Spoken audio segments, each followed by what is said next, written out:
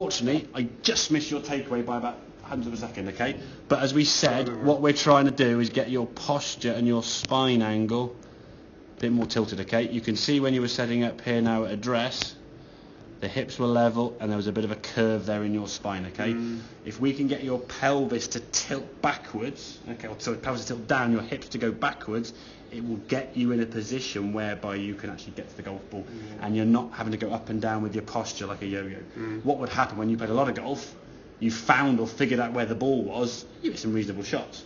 But on a consistent basis, it's going to be 50-50 at best. Mm. And if you're not playing much, it's not going to work. Yeah. Secondly, as well, now as you start playing more, it's going to put pressure on your back. Yeah. Okay, and from a longevity point of view, yeah. if you both start want to play golf now, you might play a couple of times a week, maybe once of an evening after mm. when you're back in whatever, or once after work on it, or weekends. If your back is hunched and curved this way, and when you swing a golf club, your arms go quite high and the hips go forward even more. So as you hit the golf ball here now, your spine, sort your body going up and rising up this way as you hit the golf ball, your back's putting a lot of due stress, and then the hips trying to twist at the same time.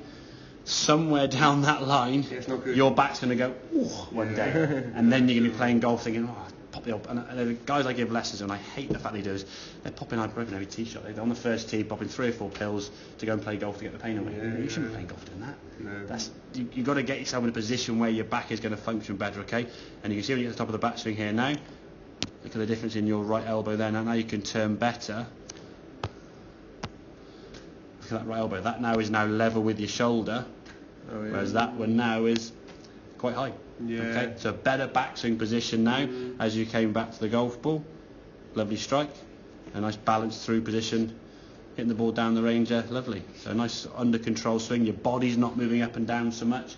So from a consistency standpoint, it's going to improve. Yeah. From a health issue, it's going to improve. and for me, I, in some ways, teach a lot of people. My main focus, a lot of golfers, is to get their swing healthy. Yeah. I would rather, in some ways, maybe hitting the ball 10 yards less, yeah. or not putting so much speed into it, but mm. swinging the club healthily, so you can repeat that over and over again, yeah. and play two, three, four, five, whatever games a week. Yeah. You go away on golfing holidays, which you might do. I don't know.